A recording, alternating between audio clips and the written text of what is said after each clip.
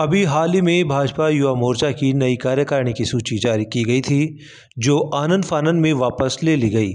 बस तभी से भाजपा प्रदेश कार्यालय में सुखबुगाहट शुरू हो गई कि आखिर ऐसा क्या था, उस लिस्ट में जो उसे तुरंत वापस ले लिया गया। राजनीति के जानकार तो यहाँ तक कह रहे हैं कि बिना सही विचार विमर्श के उस सूची को जारी किया गया था, तभी उसे वापस लेने के आदेश भी तुरंत दे दिए गए।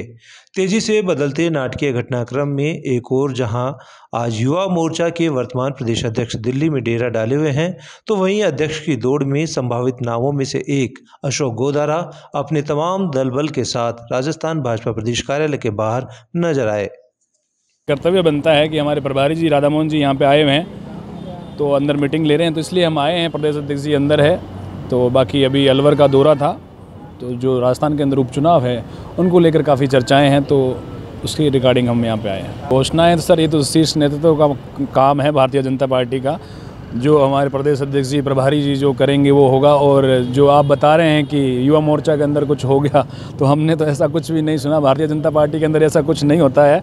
और बाकी जो भी शीर्ष नेतृत्व तो तय करेगा, वो सब मान्य होगा। ऐसा कुछ नहीं है, ये तो भाई है हमारे, जो वो कहते हैं ना, दुख सुख के साथ ही हैं ये हमारे साथ ही रहते हैं, ऐसा कुछ नहीं है। ये तो दुख में भी साथ खड़े हैं और सुख में भी साथ में खड़े हैं। आप हमारे भाइयों से पूछिए कि ये तो भाइयों की कृपा है कि अशोक उदारा जब भी चलता है तो ये पाँच दस गाड़ियाँ तो हमारे भाइयों के साथ में रहती है। तो ऐसा कुछ भी, ऐसा इश्यू नहीं है कि ये अपना, अपन दावेदारी कर रहे हैं कि बाकी सब भी भारतीय जनता पार्टी के शीर्ष नेतृत्व पर है, जो भी होगा, सब अच्छा होगा। अंकित चेची भी हमारे बड़े भाई हैं और हम तो कहते हैं वो भी आदेश करें अपने छोटे भाई को तो अब छोटा भाई हमेशा उनके साथ में खड़ा है और ऐसा कुछ भी नहीं है। भारतीय जनता पार्टी के सारे कार्यकर्ता एक है और एक आकर आगे लड़ेंगे।